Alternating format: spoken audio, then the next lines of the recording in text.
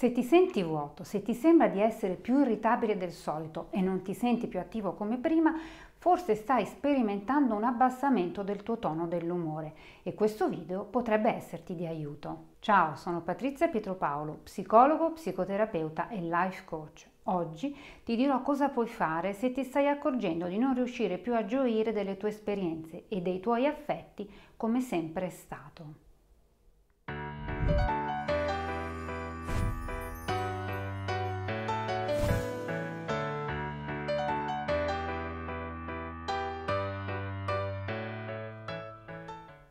Mentre la tristezza è un'emozione e come tale ci fornisce informazioni importanti sulla nostra vita, sui nostri bisogni o su qualcosa che può essere dannoso per noi, la depressione comporta un serio abbassamento del tono dell'umore, accompagnato da modificazioni fisiologiche e cognitive che incidono pesantemente sulla capacità di funzionamento della persona in tutti i suoi ambiti di vita. La depressione è una condizione patologica molto complessa e sono necessari dei precisi requisiti per stabilire se si è o non si è depressi. Come l'umore depresso per la maggior parte del giorno, per esempio, quasi tutti i giorni ho una marcata diminuzione di interesse o piacere per tutte o quasi le attività che si svolgevano normalmente. Non vado oltre nell'elencare i sintomi perché sono un professionista come uno psicoterapeuta o uno psichiatra in grado di fare una corretta diagnosi di depressione, distinguere diverse forme e assegnare la cura o le cure più corrette.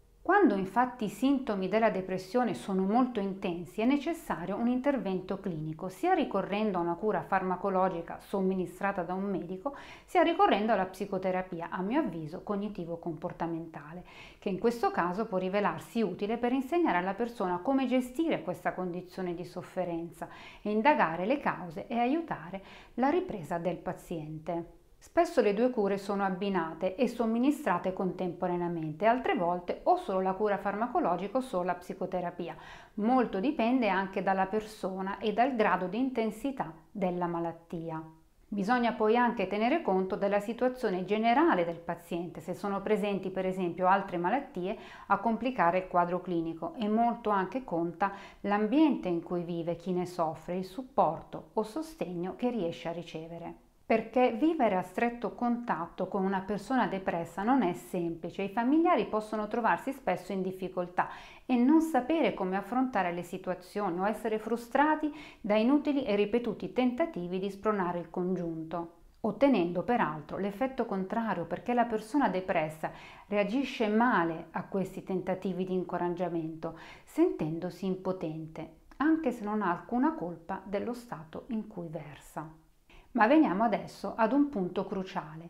C'è qualcosa che può essere fatto quando la depressione non è ancora così grave, quando si ha ancora voglia di stare meglio? Certo che sì. Per esempio, quando l'umore peggiora in risposta a qualche evento di vita che destabilizza perché viene vissuto dalla persona con molto stress. Oppure ancora, quando questo abbassamento dell'umore ci sta segnalando che nella nostra vita qualcosa non va nella direzione che avremmo voluto e ci sentiamo intrappolati con l'idea di non poter fare molto. Ecco, se prendiamo l'abitudine di auto-osservarci per arrivare ad essere consapevoli di ciò che proviamo, se intercettiamo questi sintomi prima che crescano come una valanga, rinforzandosi a vicenda, è possibile intervenire correggendo alcuni comportamenti. Ed ecco i miei consigli. La prima cosa da fare importantissima è rimanere attivo, cerca di non smettere di fare quelle cose che di solito ti facevano stare bene e meglio.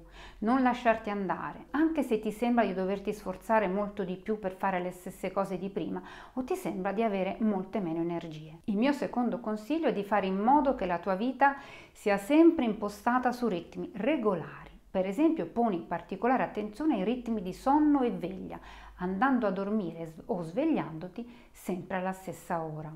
Chiediti anche cosa è veramente significativo per te nella tua vita e lotta per questo. Qual è lo scopo della tua vita? Dai un nome ai tuoi valori. Quali sono? Adotta poi dei comportamenti che vanno in questa direzione. Per esempio, se per te la famiglia è importante, farai di tutto per non far sentire i tuoi cari trascurati a causa del tuo malumore. Oppure se per te l'amicizia conta molto, cercherai di non smettere di frequentare i tuoi amici. Fa che i tuoi valori ti motivino il più possibile. Il mio quinto consiglio poi è questo, quello di prenderti cura di te stesso al meglio che puoi, anche mangiando bene, in modo sano e variando la tua dieta il più possibile. Infine, il mio ultimo consiglio, il sesto, un modo eccezionale per prenderti cura di te stesso, sappi che l'esercizio fisico, magari anche poco ma spesso, non puoi immaginare quanto benessere può procurarti.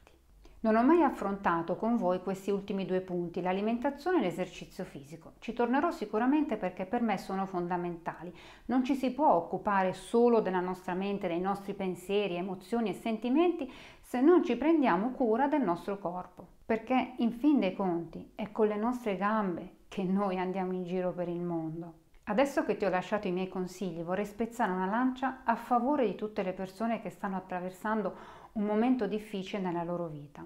Idealmente vorrei abbracciarle con un abbraccio che sia di comprensione, affetto e pazienza. Io capisco tutti, chi soffre e chi è vicino alla persona sofferente. Solo chi soffre di depressione può conoscere fino in fondo il baratro, la sofferenza o l'angoscia che è possibile provare.